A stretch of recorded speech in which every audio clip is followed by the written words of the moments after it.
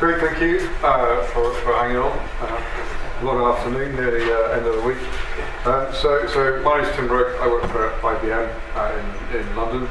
Uh, my background is as an engineering, construction and engineering, uh, energy assets, and, and what have you. So I've, I've come from from the, the construction sector, and I seem to like about digital technology, and I work for, for IBM. Um, in terms of blockchain itself, IBM is, is clearly a leading developer, a founding uh, contributor of the, the Linux Foundation Hyperledger project, uh, out of which came Fabric, which is the actual blockchain. Uh, and we work globally, uh, and we have built thousands now. Probably it's quite hard to keep up with the um, sheer quantity of work that's going on globally. Uh, so we, you know, we've got thousands of people working on it in our various centres of excellence, uh, centres of competence across the globe. Um, and I think as I alluded to in my question before, we've done loads of proof of concept, loads of minimum viable products, um, and we have put some of those, um, more than there's four here on the side, we've put these out into reality uh, on global scale blockchain applications, and there are hundreds more um, that are that are kind of private and we don't talk about um, because client confidentiality and so on.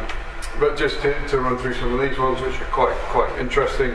Uh, top left there, you've got IBM Food Trust, which has reduced the track and trace time on, on any food item that's inside the blockchain from six days, 18 hours uh, to 2.2 seconds.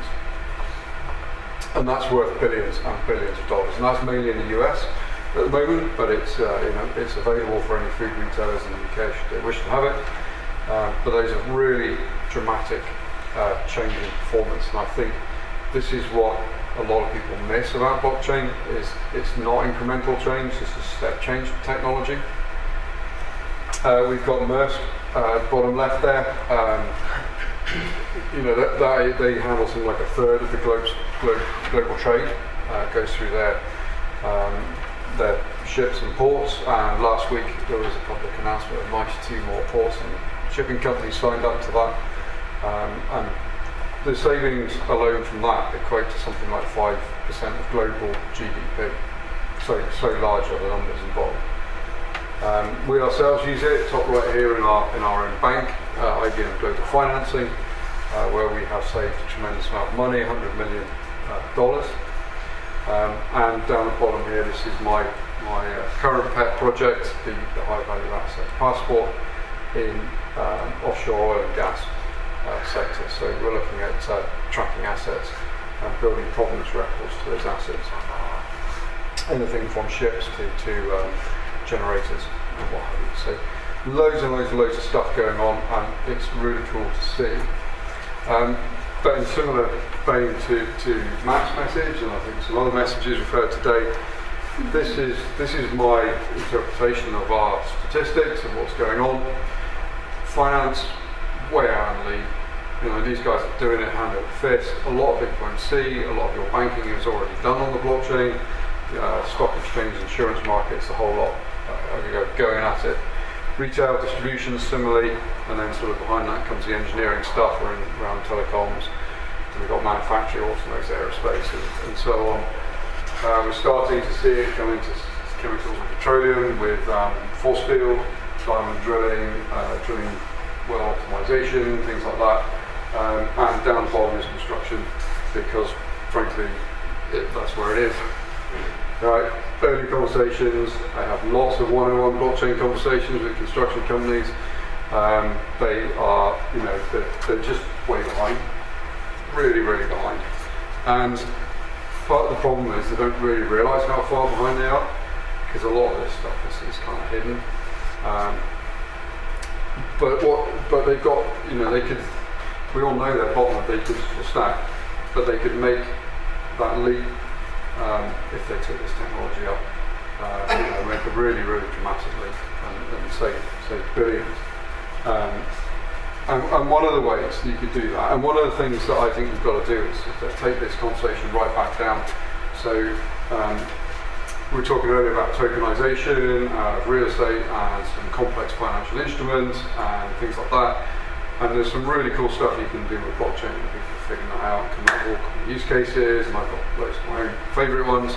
But actually, we need to make this really simple uh, because if we want construction to take it up, I think as, as you probably alluded to, you know, the low margins, it's got to be certain, it's got to work, it's got to be easy to do, it's got to be simple to understand, um, so it can't be tokenization.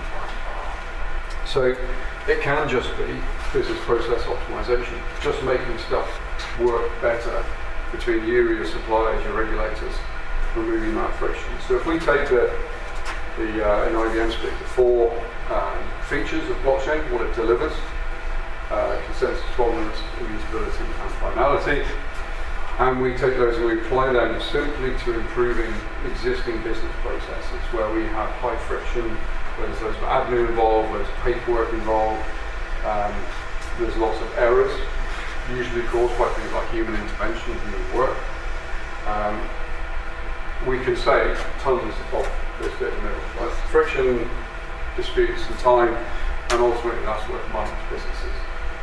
So taking quite simple use cases is actually quite valuable. We don't need to go to the really complex stuff. Although as technologists we want to go there because it's kind of cool and it's all exciting. Actually the simple stuff is worth a tremendous amount of money. How much is it worth? Uh, well, here's some here's some numbers. Um, this is based on, on stuff we've seen and are working on, and based on predictions that we're, we're doing internally. Uh, so, so, and obviously it's, it's very large scale, but in the UK, you know, 400 billion across a 10 trillion dollar sector is up for grabs. You could build a few schools and a few more hospitals for that, finance more businesses, up the profit margins quite a bit. You know, and there it is, you can do that today, it's not hard to do. Um, 75% of disputes. The, you know, I used to work as a technical director of a trade association, doing a lot of analysis around uh, legal disputes in, in construction activities. There's about 14 billion pounds locked up in disputed payments for work that's gone wrong, for maybe didn't do it, where's the goods, all that kind of stuff. And that's that's not including all the lawyers' fees and all the pain and internal hassle that disputes have. Um, and we've got evidence you can reduce disputes by 75%. You can't get rid of them entirely because there are humans involved and we like to uh, you know, make things difficult and occasionally intentionally cause a dispute. But you can, you know, could, there's another 10 billion on the table to, to pick up there just by, just by giving more certainty on the basis for payment. Did you do the job or not? Did you supply the materials or not? Where are the materials? You know, that kind of stuff. Who signed them? When did they sign them? Pretty straightforward stuff. And then this one at the bottom. So this is something I'm working on with oil and gas uh, EPC contractors. So, so they build oil rigs and stuff like that. And uh, 200 to 400 million dollar programs take two to four years to build big rigs. It's a big deal.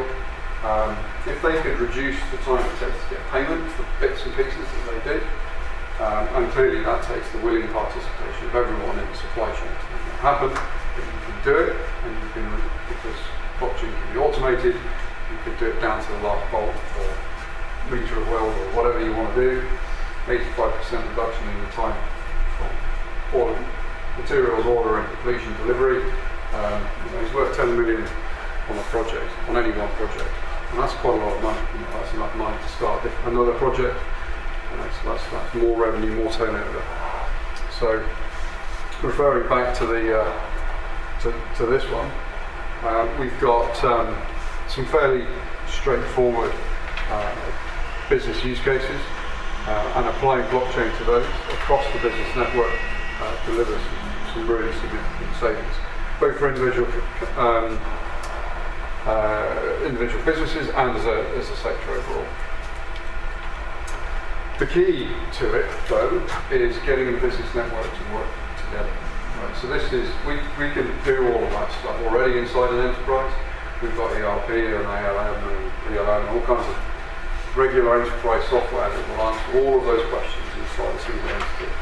So when you step outside that entity and you want to include subcontractors, your FM guys, you know, whoever else is in your supply chain, and you want to say, hey look, we want to work together across our contractual boundaries, and we can all. And that, that collaboration thing, that's the hard part, right? Uh, I'm not, you know, I've worked in construction long enough to know we're not very collaborative. We don't, you know, we like to find a new thing and then screw our supply chain with it as hard as we can. Um, but that's not the future, right? It's not going to happen. And, and we've got evidence coming out now of platform development um, in blockchain and outside of blockchain that's saying actually there's new tech on, big scale that's really, really expensive and it's very unlikely that single companies will ever be able to fund it. Um, you know, unless you're Amazon or someone like that and you've got trillions in the bank. So you have to work with others to get this to function, right? And that's that's the mindset shift, that's a leadership change. But if we can get there, if we can get them in the room and talking, and that's where we're at at the moment, um, then and, and, things like this is what, what's going to help with that. Uh, then people start forming as this is how it works. And there are ways in which we can take that forward, and we've done a few of those. And I got a little bit more on that in a sec. Um, but it's not quite that simple. So just getting people in the room, obviously then you've got to talk about IP, you've got to talk about the legal processes and defining the governance, things like that. Once you've done that, you've got to talk about how does this fit this blockchain thing, this simple blockchain process. So not the complex one, but just the simple one. How does that fit with all the other stuff you've got already? Your technical debt, your legacy, your ERP system. How do you train your people? Um, what, how do you get it onto a mobile platform? How do you secure that? How does it work with cloud? All that kind of stuff. And that's, that's where you know, IBM is good because we can provide all the answers to those, but it's not a straightforward answer often. And that, that was my question to Matt is MVPs, POCs, great, you can do them, they're isolated, they don't really interact very much with your existing systems, so it's, uh, it's of controlled, they're small, data sets are low, uh, data sensitivity is low, then you time, you've got to scale it, you've got to get it big, uh, and you've got to get it big quite quickly. And that's where you run into technical problems.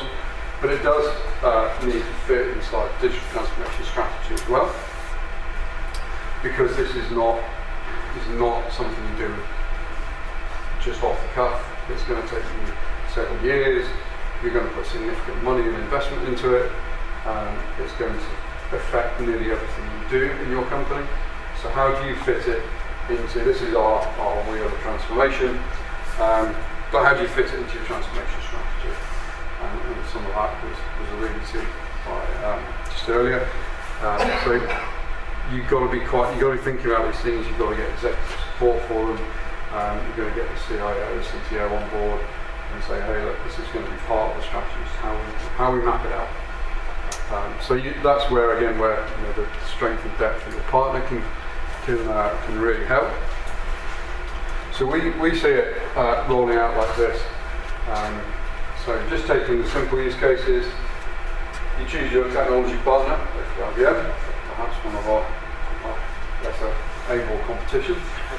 Um, you form a, a, a, network of maybe two or three companies, because you've got to keep it quite constrained at the start. Those, those companies will fund it, we will invest, we can invest, we have a bank, we will invest in it, we are investing in blockchain, um, and those founding members set up the governance, create the blockchain, uh, and make it work inside them, inside their own business processes. Once they've done that, and can do that process control, you bring in your non-competing um, people. So uh, perhaps they're similar businesses, but they work geographically differently, so you don't, you don't interact, or they, they work in a slightly different place to you, or, or whatever but non-competitive um, secondary members of the network come on board. How they go on board, they could be um, software as a service, uh, they could be equity holders in it, all that kind of stuff.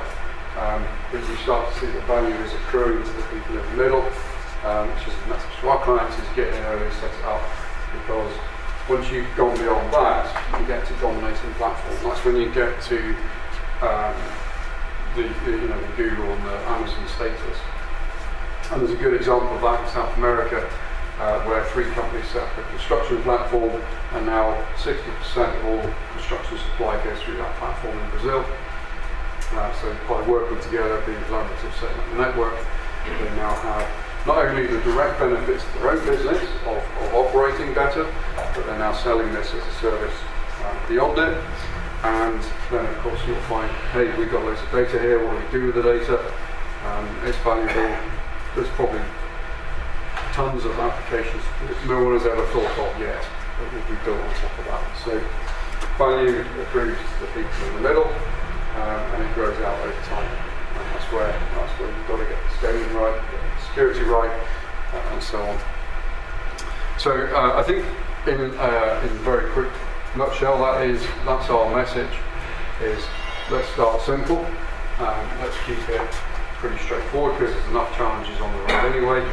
Um, but there is now expertise available out there to help companies make these things happen. Um, and we view it as a collaborative play uh, is going to be, it's going to win. Uh, very few companies will make this work on their own. And if we do it, there's a lot, there's a lot of, uh, there's a lot of gains to be made for, for everyone.